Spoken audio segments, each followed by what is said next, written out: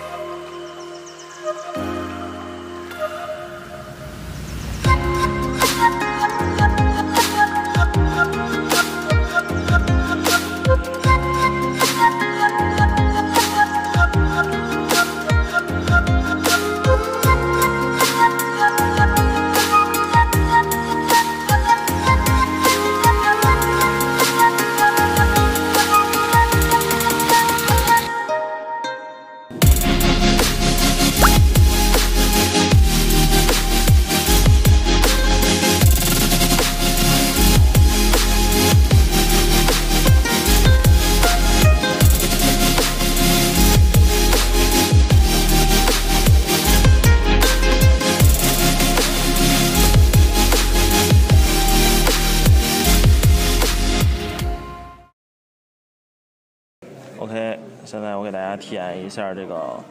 OPPO 最新的卷轴屏的一个手机，大家可以看到它这个屏幕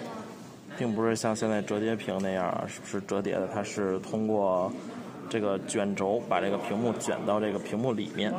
然后它是通过这个两个驱动电机作为一个恒定的一个作用力啊，然后直接驱动于这个屏幕的展开和收起。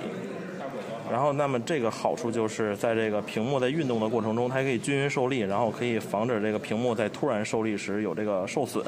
因为这个屏幕还是非常，是吧，珍贵的。然后这面是一个有一个弧度的一个屏幕，然后这边也是。然后它其实是这个轴承啊，这个轴承是一个六点八毫米的一个滚轮轴承，然后屏幕始终沿着这个轴在运动，然后这个六点八毫米的这个。尺寸是更接近这个 OLED 柔性屏受力之后的一个弯曲的一个直径，然后它这个抬收起和这个呃展开都是通过这个右边的这个触摸，它其实是一个指纹解锁啊，但是你往上滑是展开，然后往下滑，大家可以看到我这个手在这儿滑一下，它就可以展开，然后整个过程还是非常的顺畅的，然后往下滑的时候它就合起来了。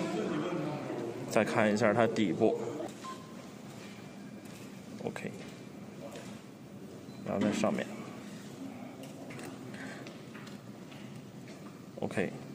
是这样的。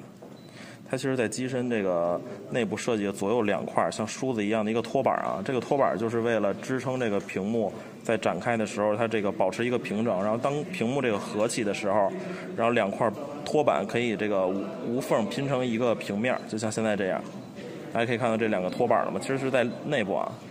然后另外呢，这个屏幕上面那个玻璃也是非常的有有意思啊，就是它搭载了这个叫 Warp Track 的一个高强度一个屏幕的一个叠层，以这个强度极高的钢为主要材料，然后最薄的地方只有零点一毫米，就是它这个屏幕上面这个玻璃最最薄只有零点一毫米啊，然后配合折叠屏表层的一个蚀刻而形成的一个线性的一个图案。然后能够提供这个支撑，然后同时还可以大幅降低这个屏幕模组的一个回弹力，因为它没有这个电机和它底下那个撑板的时候，这个屏幕就是松松垮垮的。然后现在这样呢，它就是紧绷，一直很平。然后这个好处是什么呢？其实就是可以这个解决了什么折叠屏手机啊，它那个叫什么有折痕，所以看到就是它在卷进去的时候，这个边儿上还有中间它是看不到折痕的，把这个屏幕给它。亮黑，可以看到这整整个平面是非常平的，就没有折痕。啊，这也是这个现在折叠屏之后的另一个趋势啊，呃，可以说是非常的有创意。然后现在这个还是一个概念机的阶段，大家可以看到这个机身还是略有一些厚的，但是和这个折叠屏手机比起来，这个厚度已经非常薄了。